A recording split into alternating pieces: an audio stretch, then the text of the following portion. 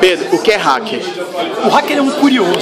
O hacker é alguém que entende tanto de uma coisa que consegue transformar. Um hacker de computador é alguém que entende muito de computador e, portanto, ele não precisa, talvez, de senha para acessar o seu e-mail.